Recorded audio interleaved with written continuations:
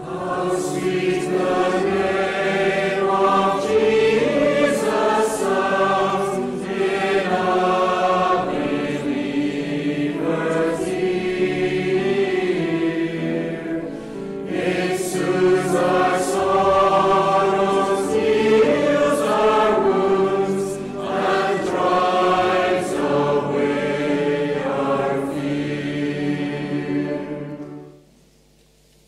the Evangelist writes these words And the Word became flesh and tabernacled among us.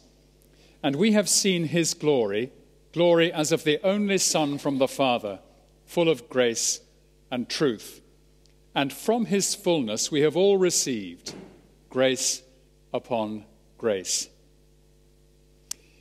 Good evening, friends, and welcome. We'll sing together number 199 in our hymn books The God of Abraham praise, who reigns enthroned above. Number 199.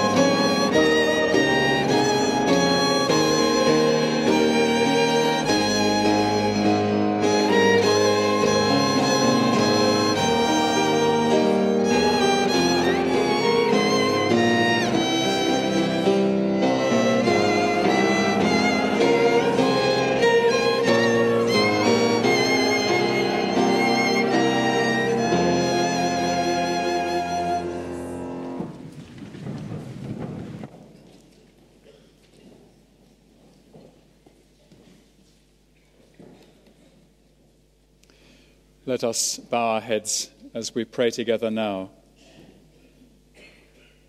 to the great God whose name we lift up on high, whose power and reality and love we delight in.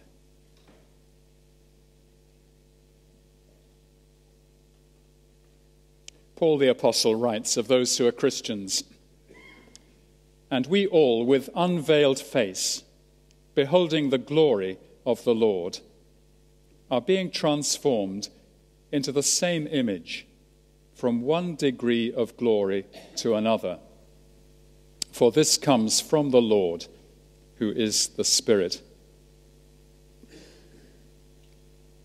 We do thank you, dear Heavenly Father, for the vision of Paul the Apostle, given to him by you and taught to him by you by which he teaches us something of the glorious nature of growing in the Christian life. And we thank you so much, our dear Father, that even though we cannot behold your glory or the glory of our Lord Jesus with our physical eyes, yet we do indeed believe that we come to know you and our Lord Jesus better and more deeply as we read the scriptures and as we are built up in the life of the church. And our prayer is that you will help us deep in our hearts to come to understand more of your glory as the months and the years pass, as we continue to be nourished by the scriptures. And we thank you so much for the assurance from the apostle that we are being transformed into the same image, somehow the very image of Christ is being rebuilt and remade in our own lives and hearts, in our personality, in our character, and our understanding. And that we're being transformed from one degree of glory to another.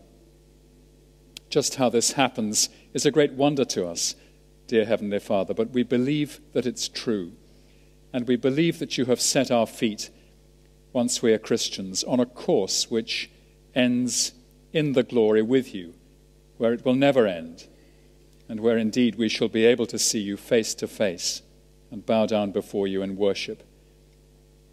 And so tonight, dear Heavenly Father, we want to thank you again for having such mercy upon sinners and rebels like ourselves.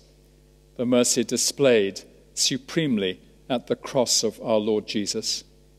We think of the way that he was willing to come to earth, to leave the glory, his native habitat, the place where he'd always been with you, that he was prepared to leave it and be made flesh, tabernacling amongst us, so that he might bear the penalty of our sins and then be gloriously raised again from the dead, assuring us that our own sins have been taken away and that our future is with him in the resurrection. So, dear Heavenly Father, build us up we pray tonight in our faith. Give us growing strength and confidence as you remake us. Give us courage to live the Christian life in the midst of a hostile and difficult world. And we pray that our lives will tell for the gospel and for the Lord Jesus in these coming days. So bless us, we pray. We look to you. We depend upon you. We love you. We trust you. We delight in you. And ask you, therefore, to have mercy upon us. And we pray it in Jesus' name. Amen. Well, friends, it is very good to see everybody here tonight, and uh, a very warm welcome to everybody, whether you are somebody who's been here a thousand times or 10,000 times before, or whether you've been here just once or twice, or, or even it's your first time. We're delighted to have you here with us. Don't be alone, don't be isolated. Lots of people know each other here, but not everybody knows everybody. And it may be that you're sitting next to somebody who's new here and wants a little bit of encouragement. So do make sure that you shake a hand and uh, uh, uh, bring some warmth and friendship.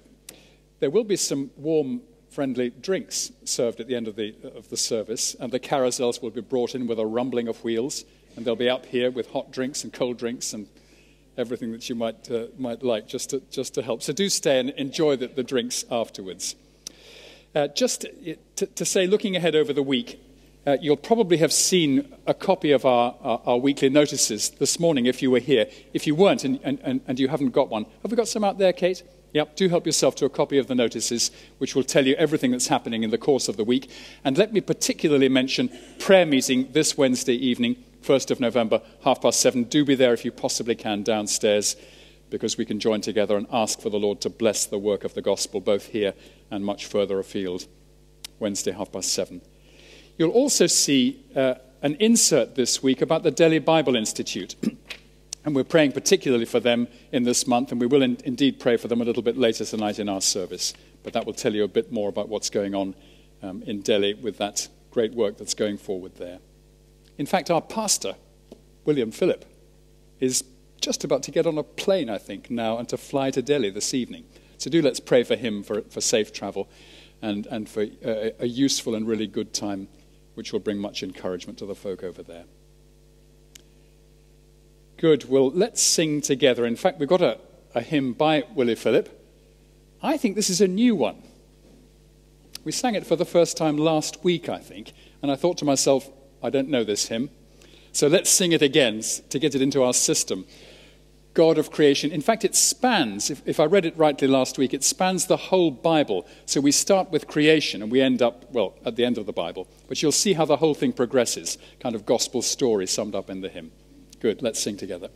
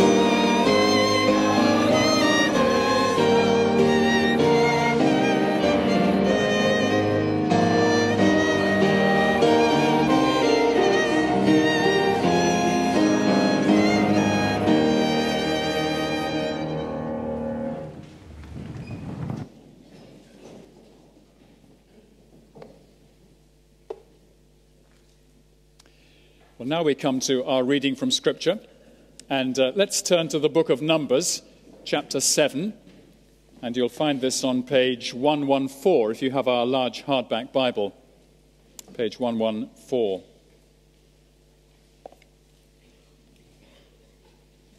The subject of this chapter is the tabernacle and the offerings which the various tribes of Israel brought uh, as the tabernacle was completed and then consecrated by Moses. Now, you'll see chapter 7 is a long chapter, in fact, 89 verses, and I'm not going to read all 89 verses because if you look at it, you will see that beginning at uh, verse 12, we have the offering on the first day out of 12 days, the offering made by Nahshon of the tribe of Judah. And then if you look at the, the next 11 paragraphs, you'll see they're all exact repeats of that first paragraph, except for the change of name in the leader of the particular tribe. Now, there's a reason for that, and uh, we'll look at that a bit later, but I'm, I'm not going to uh, read the whole thing out. I shall read verses 1 to 17 and then verses 84 to 89. so, Numbers chapter 7, beginning at verse 1. On the day when Moses had finished setting up the tabernacle, and had anointed and consecrated it with all its furnishings, and had anointed and consecrated the altar with all its utensils, the chiefs of Israel, heads of their fathers' houses, who were the chiefs of the tribes, who were over those who were listed, approached and brought their offerings before the Lord six wagons and twelve oxen, a wagon for every two of the chiefs, and, one, uh, and for each one an ox they brought them before the tabernacle. Then the Lord said to Moses, Accept these from them, that they may be used in the service of the tent of meeting, and give them to the Levites, to each man according to his service. So Moses took the wagons and the oxen and gave them to the Levites. Two wagons and four oxen he gave to the sons of Gershon according to their service and four wagons and eight oxen he gave to the sons of Merari, according to their service, under the direction of Ithamar, the son of Aaron the priest. But to the sons of Kohath he gave none, because they were charged with the service of the holy things that had to be carried on the shoulder. And the chiefs offered offerings for the dedication of the altar on the day it was anointed, and the chiefs offered their offering before the altar. And the Lord said to Moses, they shall offer their offerings, one chief each day, for the dedication of the altar. So we'll just read about the first chief on the first day. Verse 12. He who offered his offering the first day was Nahshon, the son of Amminadab, of the tribe of Judah. And his offering was one silver plate, whose weight was 130 shekels, one silver basin of 70 shekels, according to the shekel of the sanctuary, both of them full of fine flour mixed with oil for a grain offering, one golden dish of ten shekels full of incense, one bull from the herd, one ram, one male lamb a year old for a burnt offering, one male goat for a sin offering, and for the sacrifice of peace offerings, two oxen, five rams, five male goats, and five male lambs a year old. This was the offering of Nahshon, the son of Amminadab. And so on for 11 more paragraphs. And then to verse 84, where we have a, a summary of the total of all the offerings. This was the dedication offering for the altar on the day when it was anointed from the chiefs of Israel 12 silver plates, 12 silver basins, 12 golden dishes, each silver plate weighing 130 shekels and each basin 70 so all the silver of the vessels, 2,400 shekels, according to the shekel of the sanctuary. The 12 golden dishes full of incense, weighing 10 shekels apiece, according to the shekel of the sanctuary, all the gold of the dishes being 120 shekels. All the cattle for the burnt offering, 12 bulls, 12 rams, 12 male lambs a year old with their grain offering, and 12 male goats for a sin offering and all the cattle for the sacrifice of peace offerings 24 bulls, the rams 60, the male goats 60, the male lambs a year old, 60. This was the dedication offering for the altar after it was anointed. And when Moses went into the tent of meeting to speak with the Lord, he heard the voice speaking to him from above the mercy seat that was on the ark of the testimony, from between the two cherubim. And it spoke to him. Amen. And may these words indeed speak to us this evening, the words of the Lord. Well, we're going to sing together again. Let's turn to number 724, 724 in our hymn books. And that's the hymn that begins All my days I will sing this song of gladness, give my praise to the fountain of delights, for in my helplessness you heard my cry, and waves of mercy poured down on my life. Number 724.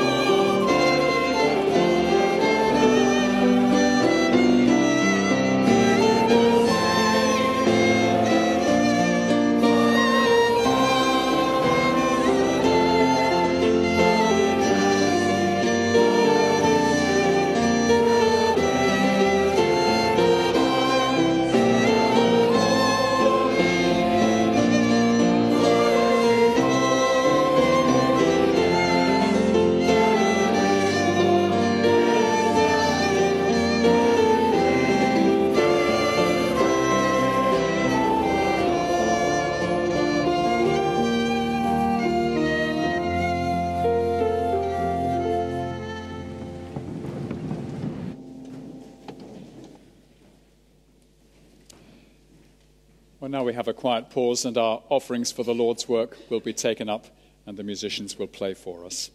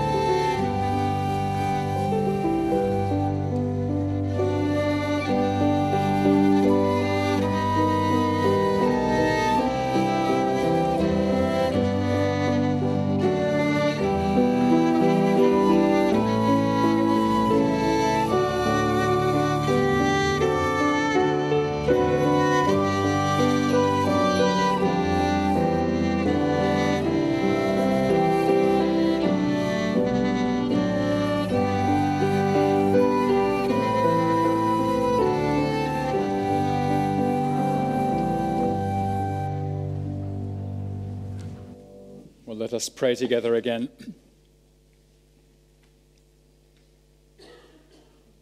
As we bow our heads together, let's turn our thoughts to North India and to the work of the Delhi Bible Institute, a work dedicated to the spreading of the gospel, to the planting of new churches and fellowships in villages and towns all across the northern part of India.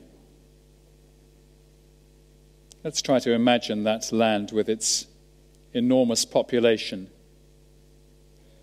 the great majority of whom do not know the gospel or the Lord Jesus a land where Hinduism has a powerful grip upon many people and where increasingly Hindu militancy is at work against the gospel to make life difficult for Christians who are seeking to preach Christ.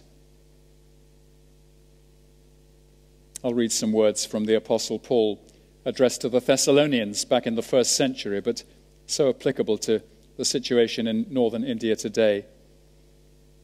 He says, Finally, brothers, pray for us that the word of the Lord may speed ahead and be honored, as happened among you, and that we may be delivered from wicked and evil men.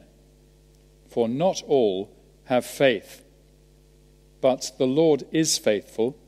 He will establish you and guard you against the evil one.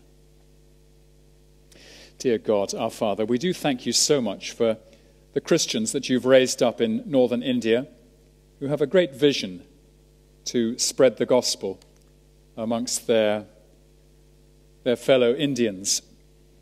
And we thank you for all those who have indeed, by your grace, turned to Christ. And especially in recent years, we want to thank you for the planting of new centers of instruction in a number of significant cities in northern India. We think of the ashrams, the, uh, the training centers at Chandauli and Dehradun, in Lucknow and Ranchi and Chandigarh. And we think of the new one, which is just about to be opened this coming Saturday in Jaipur in Rajasthan. We thank you so much for the, the courage of Isaac Shaw and all those who are working with him as they seek to plant churches uh, right across this area. We thank you for their vision, their vision 2025, to establish 15,000 new churches, new Christian communities, and their vision to train 30,000 students in the Bible and how to teach it and how to evangelize and to plant churches. We thank you that so many tens of thousands have already been trained in the last 10 years or so. And so we pray, dear Father, that you will encourage and strengthen this work wonderfully. We think of Paul the Apostle praying that the Thessalonians should be delivered from wicked and evil men, for not all have faith. And we pray that your servants in North India also will be delivered from those who hate the gospel and are set against it. But we thank you too for Paul's teaching that you, Lord, are faithful and that you will establish your people and guard them against the evil one. And we ask you, therefore, to guard this work, to protect your servants, to keep them safe from attack, however the attack might come, whether physically, the burning of churches, or attacking individuals, or whether it's the attack that comes through propaganda and hatred. But we pray that you will protect the work and bless them.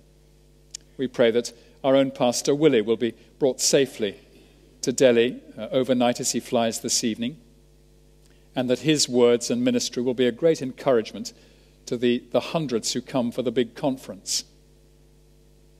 We pray especially for local pastors across northern India who are discouraged and working in isolated situations, and ask that you will greatly bless them and give them the strength to continue, to trust you, to preach with confidence, and not to be afraid. So have mercy upon this work, dear Father, we pray. And we ask all these things in Jesus' name. Amen.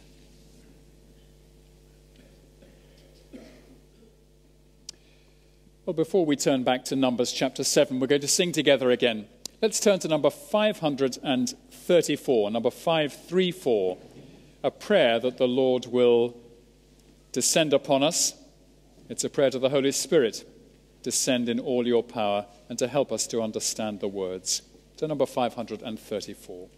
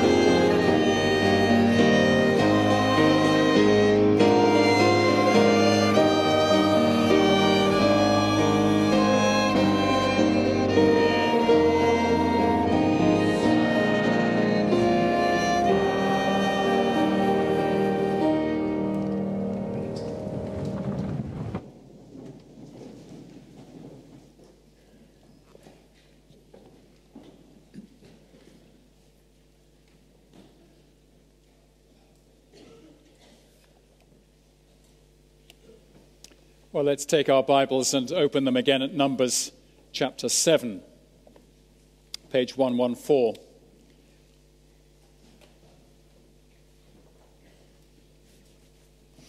Now, my title for this evening is A Gracious God and a Generous People.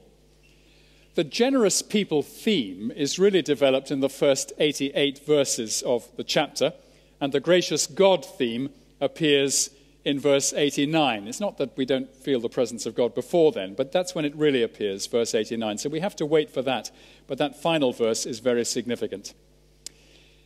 Now, let me start by saying this about the tabernacle, because this is, this is all about the tabernacle. Let us learn to love and to honor and to understand the tabernacle. You'll know that there's a lot said in the books of Moses about the tabernacle. We have it here in Numbers chapter 7. We've had it extensively in Numbers 2, 3, and 4, which we were looking at a few weeks ago.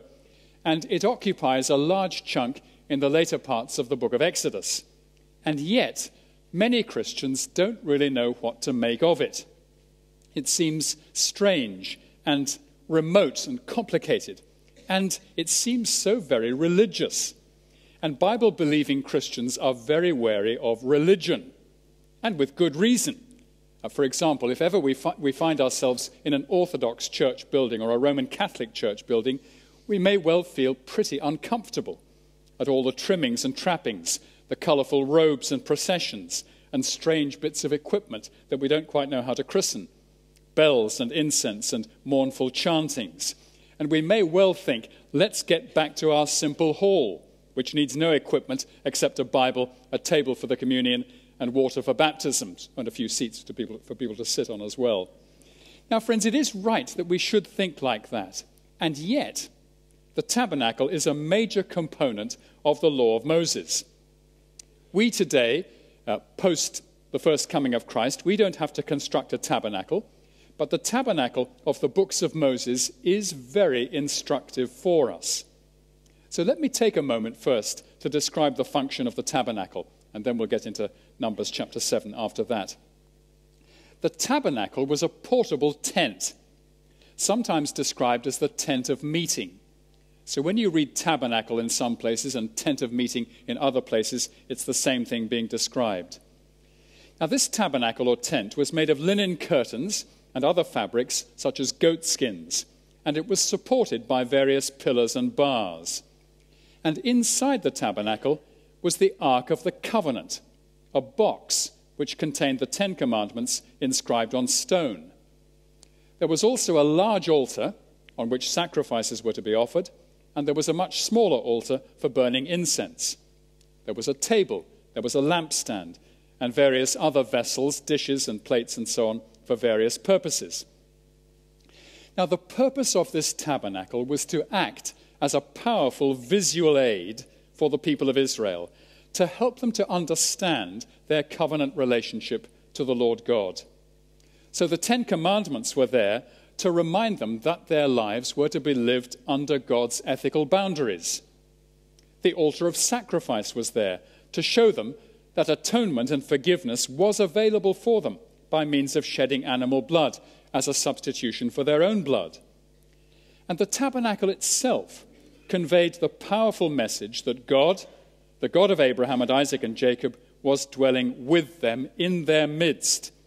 As God says in the familiar words of the covenant, I will be their God, and they will be my people, and I will dwell with them. So the message of the tabernacle to the people of Israel was God is with us, God rules us by his word, God forgives us by means of sacrifice, or to put that just in three words dwelling, ruling, and forgiving. And when it's put like that, we realize that it's not unfamiliar to Christian ears. It's really the gospel in a slightly different form. But the significance of this tabernacle is something that runs on right the way through the Bible. When the Israelites crossed the Jordan into the Promised Land in about 1400 BC, Moses has just died, you remember, and Joshua leads them across the river. When they cross the river, the tabernacle comes with them. And then for several centuries, it lives in various places, like Shiloh. But eventually, King Solomon builds the temple in Jerusalem, in the heart of the city, in about 950 BC. And it's at this point that the tabernacle ceases because its function is taken over entirely by the temple. So the tabernacle was really a mini portable temple. But when the temple was finally built, it signified in a permanent way what the tabernacle had stood for. So the temple became the place where God's name was to be honored. The temple housed the Ark of the Covenant. The temple was the place of atonement where the sacrifices were offered. And the temple represented the very dwelling of God in the midst of his people, Israel. Now, what is the next stage in the historical development here? Remember the great themes God dwelling with his people, God ruling his people with his word, and God providing atonement and forgiveness by means of the sacrifices. Well, the next stage in all of that is Jesus, because Jesus is God dwelling with his people. The word became flesh and literally tabernacled with us. That's the way John puts it in his first uh, chapter of his gospel. Emmanuel, God with us, dwelling with us. Jesus also is God ruling his people with his word. He is the very word of God. And Jesus is the one who provides the full and final and unrepeatable sacrifice for the sins of his people. Dwelling, ruling, forgiving. Jesus is the tabernacle, Jesus is the temple. Do you remember how he put it to the uncomprehending Jewish leaders in John chapter 2? He said to them, Destroy this temple, and I will raise it up in three days. And they said to him, This temple has taken 46 years to build. How can you raise it up in three days? But, John the Evangelist goes on, he was speaking about the temple of his body. But the trail does not end there. Jesus, as we know, is now in heaven, seated at the right hand of God the Father.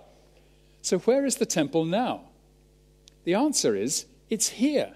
It's the church, it's the people of Jesus Christ. Paul puts it like this as he writes to the Gentiles at Ephesus who have become Christians. I'm going to quote a little bit from Ephesians 2. He says this to Gentile Christians You are no longer strangers and aliens you are fellow citizens with the saints. Now, just notice the building analogies that he uses now. Your fellow citizens with the saints, members of the household of God, built on the foundation of the apostles and prophets, Christ Jesus himself being the cornerstone, in whom the whole structure, being joined together, grows into a holy temple in the Lord. In him, you Gentiles also are being built together into a dwelling place for God. In other words, the temple building in which God now dwells on earth is the church. The Lord, in the person of the Holy Spirit, dwells in our hearts, in our fellowship, in our work, and in our shared life. The Holy Spirit comes to take up residence not only in individual hearts as we're born again, but also He lives in us as a body of believers. It is He who gives us the energy and strength to do His work, which is the work of the gospel.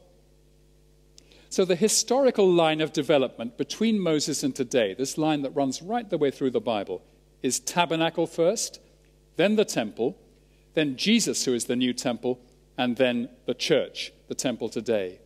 Dwelling, ruling, forgiving. So the church today is the temple where God dwells by his Holy Spirit, rules by his word, and assures us of forgiveness by means of the cross of Jesus. Well, now let's, let's turn now to number seven, and we'll look at its message under two headings. First, the willing service of the people, and then second, the gracious speaking of the Lord. First, then, the willing service of the people. Now, as you look at verse 1, this seems to start in a rather quiet way, but actually, verse 1 is full of excitement and a sense of urgency. Look with me at verse 1. On the day, the very day, when Moses had finished setting up the tabernacle, you can almost see the, the people watching this event taking place. You can, you can almost see the tribal leaders watching him from a distance and seeing him finish the work. What's he doing now, Yehudi? Give me the binoculars. I'll get a better view. Yes, he's got the altar. It's all set up now. I can see it. Yes, um, uh, there are various things happening. There's a Levite bringing in, it's a, it's a ram's horn. It's full of oil, I think. Yes, he's, he's taking the stopper out of the horn. He's dipping his fingers into the oil. Now he's smearing his fingers all over the altar and everything else.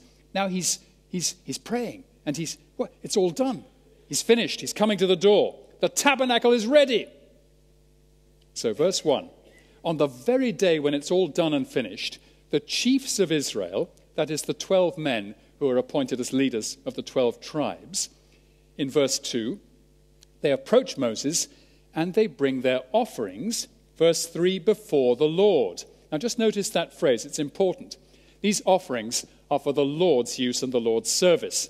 This is not just a social or community activity, it's the Lord's purpose that is being served. And what do they bring? Well, verse 3 tells us six wagons and 12 oxen. That is, two beasts to pull each wagon. If this were happening today, no doubt it would be six large white vans. The purpose is simply transport.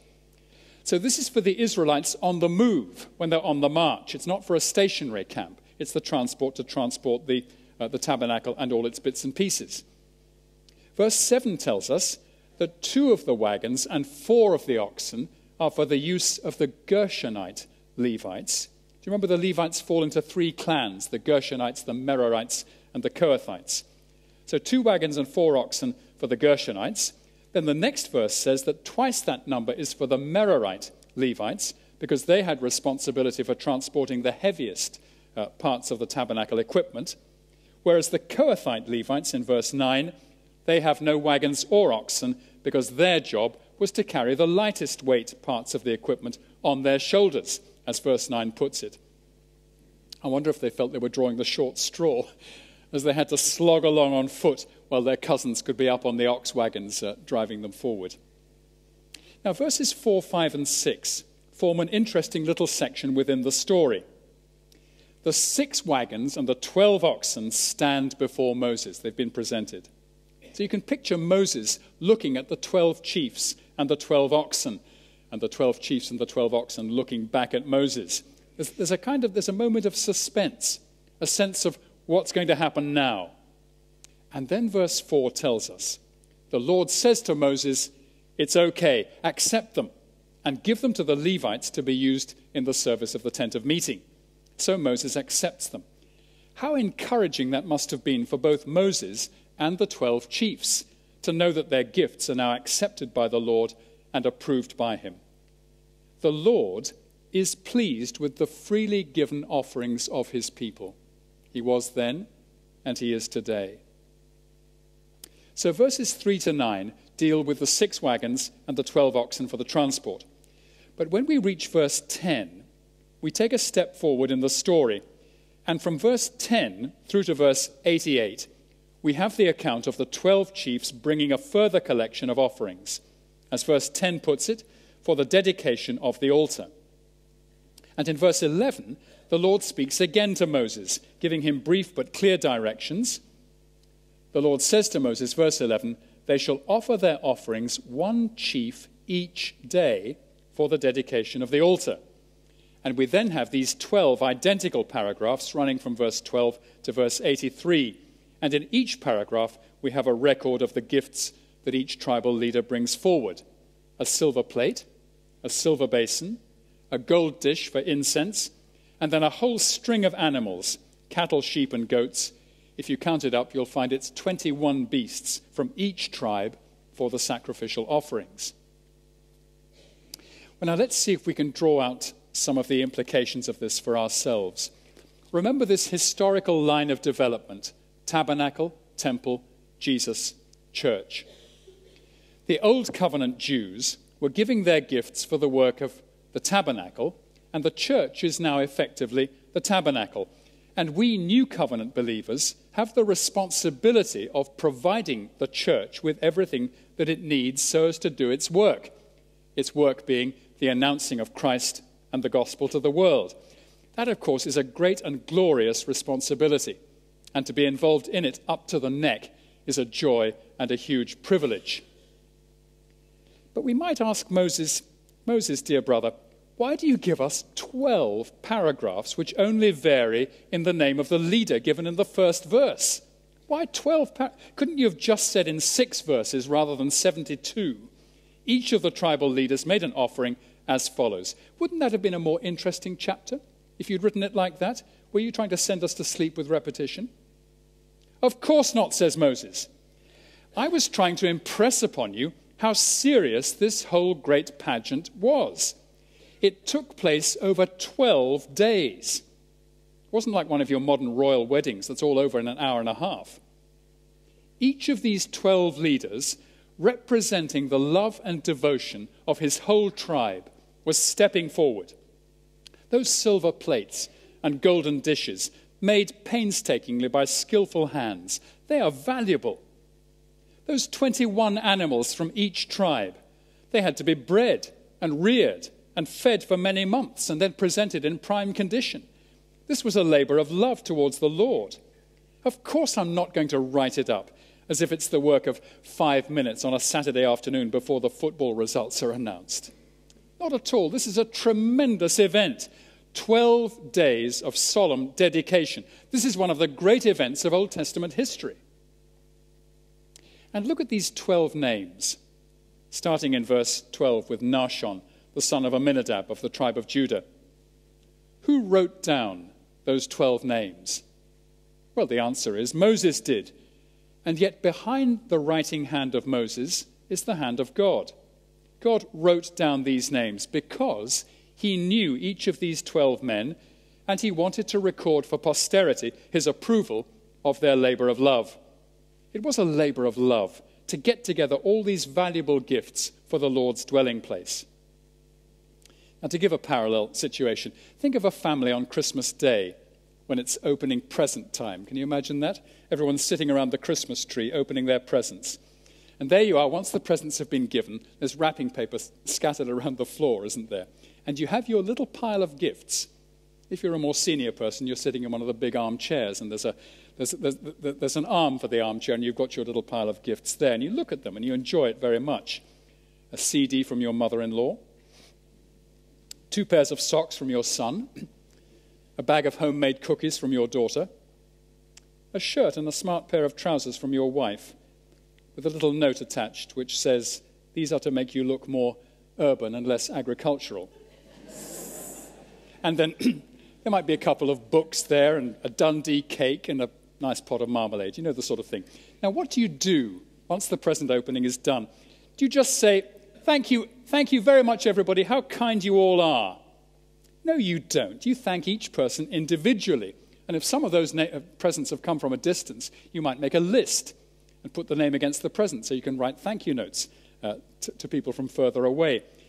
You see each present and you note the love and the care that lies behind it. Now, isn't that why the Lord records the names of these 12 men? He's written them down in his book because he is preserving for all generations his pleasure in the loving service of these 12 men. Would you like to have your name written forever in God's book? Well, it is if you're a Christian. As Jesus once said to a group of his disciples, Don't rejoice that the spirits are subject to you, rejoice that your names are written in heaven. If God records precisely the gifts and the dedication of these 12 men, we can be sure that he notices and remembers all the service that we offer him in the life of the church.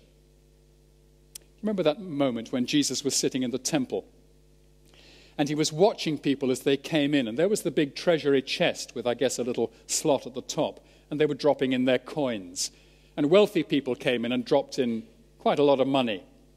But then a poor widow came in a poor widow. There was no benefit, no universal credit in those days. You had what you could earn, and that was that. And this poor woman dropped in two tiny coins into the chest. And Jesus noticed, and he was moved with compassion. I guess she thought she was making a very pathetic little contribution. But Jesus noticed her two little coins, and he noticed the love and the devotion that lay behind them. Now, this surely is why we have these 12 repeated paragraphs. Every silver plate, every gold dish, every bleating sheep and goat and bull, all of them the fruit of hard labor and given with love and recorded by the hand of God through the hand of Moses. Now, here's another implication for us today. This chapter is commending and highlighting a culture of giving. This was all done publicly. You can't bring 21 noisy animals to the door of the tabernacle without everybody seeing it and hearing it. These 12 leaders, by organizing their gifts, were showing an example to everybody in the 12 tribes. Implicitly, they were saying the Lord's work, the Lord's tabernacle, needs generous and glad support. For 12 days, these gifts kept coming. Every tribe was involved. Now, a church today, any church today, develops a culture, by which I really mean a shared ethos or a way of looking at life. It is possible, I'm afraid, for a church to develop a niggardly culture, but it's equally possible for a church to develop a culture of joyful contribution to the Lord's work. Now, I'm not talking here primarily about money. Our giving of money to the Lord's work, that's important, and rightly, it's a private affair between, between each Christian and the Lord. Jesus specifically warns us against making some kind of boastful public show of our financial giving. In any case, in any congregation, some pockets are much deeper than others. Some are able to give much more than others. but we can all play our part in stimulating and developing a culture, a shared mentality of enthusiastically involving ourselves in some aspect of the church's life and work. Now, not everybody is a mover and shaker. Some are natural leaders, but the majority are natural helpers and assistants. We can all play our part. We can all, so to speak, make a gold dish or rear a lamb and bring it along. And this is true however old we are. Sometimes I've met Christians who get to a certain age and say, we must hand over things to the younger people now. Not at all, not at all. We can continue to, uh, to make a contribution at whatever age. Even if you can't jump about and move at 100 miles an hour, you can still be massively influential in developing a culture in the church of joyful contribution. So, for example, imagine that you're 103, okay? And you're still able to come and you're sitting somewhere in the back of church at the end of the evening service with your Zimmer frame beside you. It's the end of the service, the minister has pronounced the final prayer. Everybody gets up except you because you can't. you need a little crane, don't you, to get you up. So you sit there. You look around, you catch the eye of a young member of the church. The crooking finger is a really good thing for a Christian to have. So you beckon over this young, this young Christian. Fetch me a cup of tea from the carousel, Sebastian, please. Come and talk to me. So he gets the cup of tea and he comes and sits down. And you say to him, aged 103, you say, Now, son, how are you serving the Lord these days? Oh, you're involved in that activity, are you? Good, I'm glad to hear that. What are you learning? Patience. yeah, you need that. That's good. And let me ask do you know yet the difference between Philippians and Colossians? Have you got that under your belt yet? No? Well, come back in a week's time and tell me.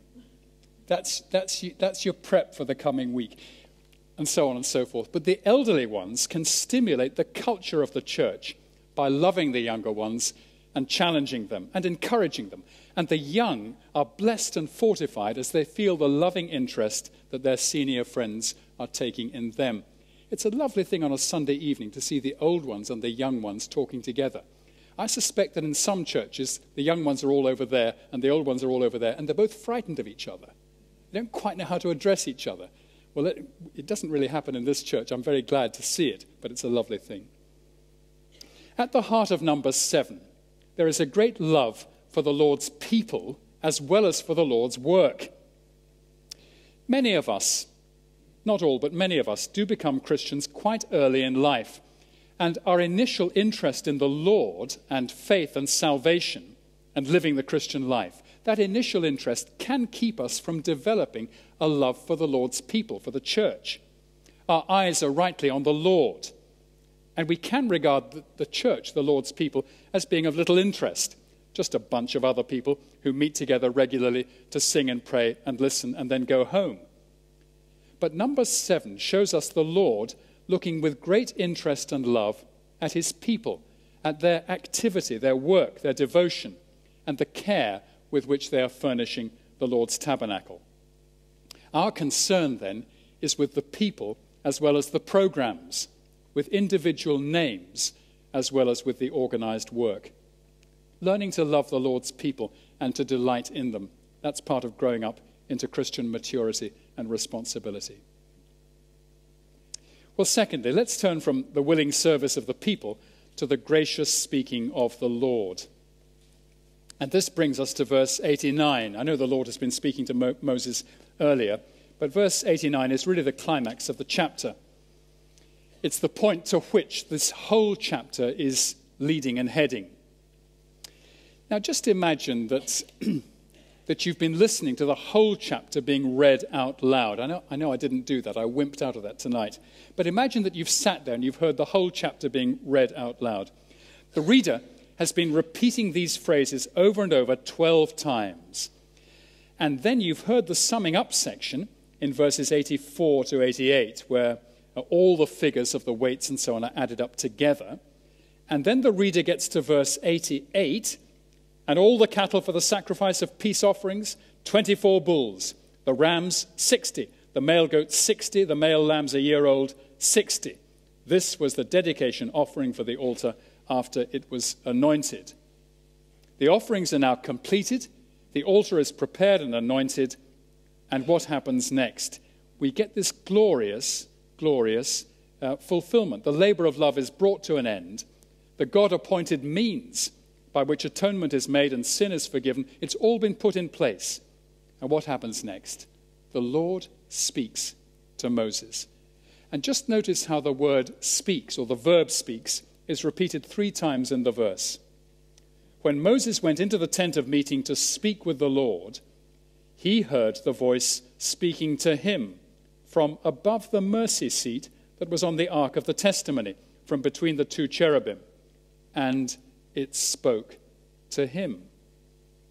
Moses went in to speak with the Lord, but the verse is not emphasizing what Moses might have said to the Lord. It's emphasizing the astonishing fact that the Lord then spoke to Moses. Let's notice two things about this. First, the voice spoke to him, Moses, not to all the people throughout the camp, but to Moses personally. No doubt the Lord could have provided some kind of wonderful uh, audio speaker system to broadcast his voice throughout the whole camp so that every Israelite could hear him simultaneously. But he doesn't. Instead, he speaks to Moses so that Moses can subsequently tell the people the Lord's instructions. Now, it's important we grasp this. Moses is the verbal channel through whom the Lord speaks to others. And this comes again and again throughout uh, not just the book of Numbers, but throughout the law of Moses. Turn back, for example, to chapter 6, verse 1. Chapter 6, verse 1.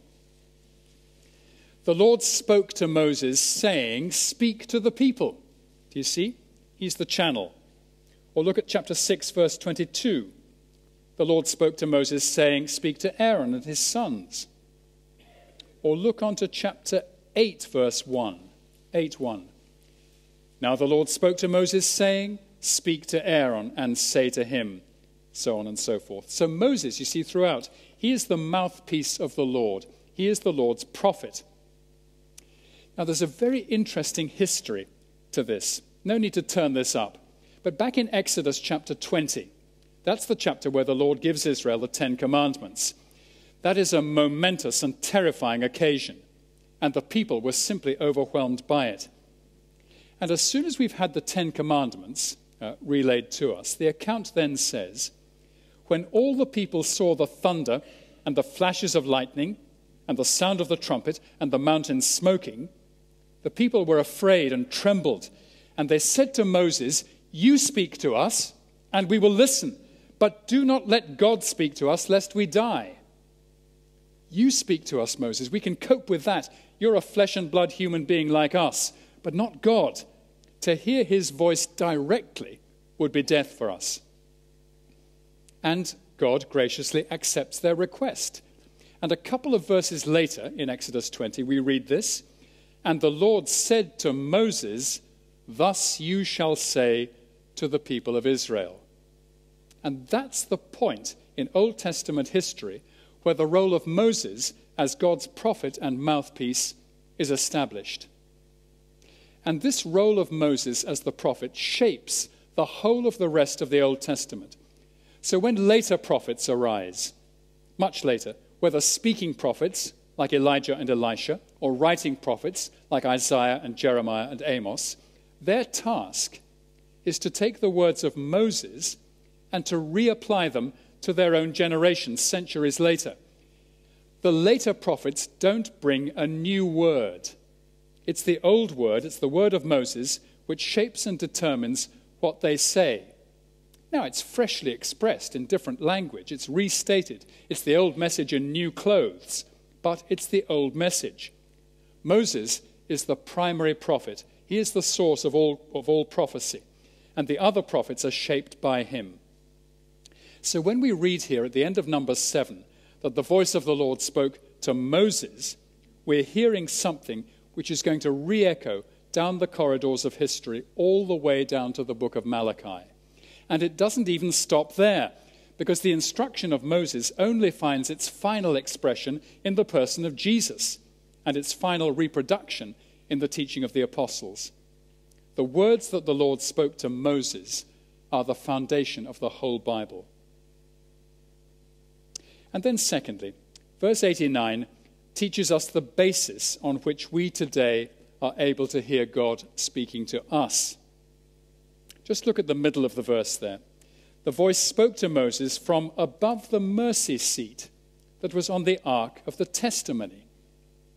Now, the mercy seat was the place in the tabernacle which assured the Israelites that God's anger against their sin was propitiated through the appointed sacrifices. The mercy seat assured them that God looked at them with mercy. And it was on the Ark of the Testimony, the box that contained the Ten Commandments. So, here in just this one verse, we have the tent of meeting, which speaks of God dwelling. We have the Ten Commandments, which speak of God ruling. And we have the mercy seat, which speaks of God forgiving. And it's only on this basis that we today are able to hear God speaking to us. So let's think of these three elements again. First, God dwelling by his Spirit in the church, which is the contemporary tabernacle. If we're not born again, if we're not yet born again and filled with the indwelling Spirit, we're not able to hear God speaking to us. Our hearts are still hard. We're deaf to his voice until his new life within us opens our ears and enables our hearts to want him. And then, secondly, God is ruling us by the Ten Commandments and by all his words throughout the Bible. Wherever the Bible is loved, taught, honored, preached, studied, delighted in, rejoiced in, and obeyed, wherever that happens, God speaks to us with such force that our lives are turned upside down and our thinking is fundamentally restructured. To take the Bible seriously is to hear the voice of God. And then, thirdly, God forgives us at the mercy seat, the final expression of which is the cross of Christ. So, wherever a church marginalizes the cross by suggesting that sin is no uh, real problem because we're all basically nice people, or perhaps teaches that Jesus went to the cross as an example of how to suffer injustice bravely, rather than as the Passover lamb sacrificed to atone for our wicked rebellion against God. Where the cross is downplayed or minimized or reduced, we will never really understand the gospel because we will have lost sight of the wrath of God and the reality of hell from which we need to be rescued. But where the Lord dwells with us by his Spirit and rules us by his words and forgives us through the death of his Son, we can approach him with reverent joy and we can be sure that he will speak to us, and we will then hear him, and we shall respond with joyful obedience. Dwelling, ruling, forgiving. That is the tabernacle, and that is the gospel. Let's bow our heads and we'll pray.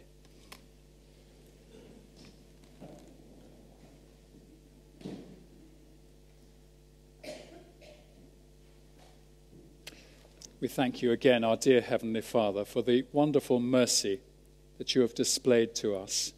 We have not deserved it at all, but you have been so kind to us, and we thank you that you come to dwell in our hearts individually as we repent and trust our Lord Jesus, that you dwell here in our fellowship in the very heart of the church and enable us to do the work of announcing the Savior.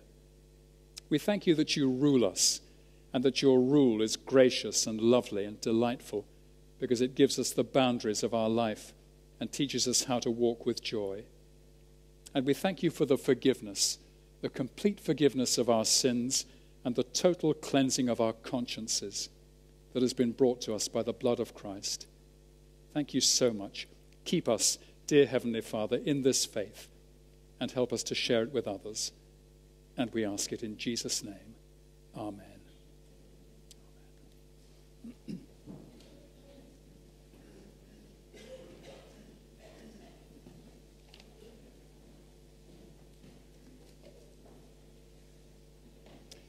Well, let's turn to number 862 as our final hymn.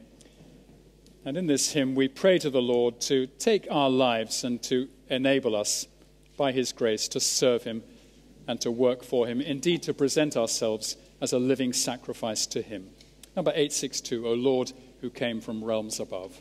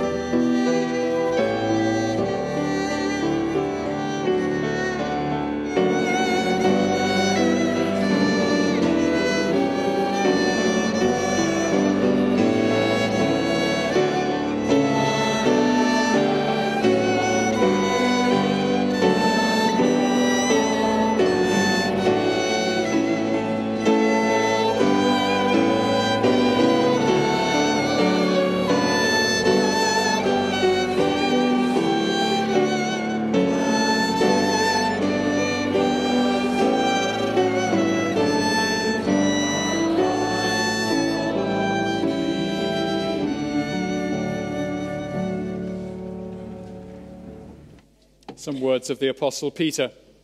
After you have suffered a little while, the God of all grace, who has called you to his eternal glory in Christ, will himself restore, confirm, strengthen, and establish you. To him be the dominion for ever and ever. Amen.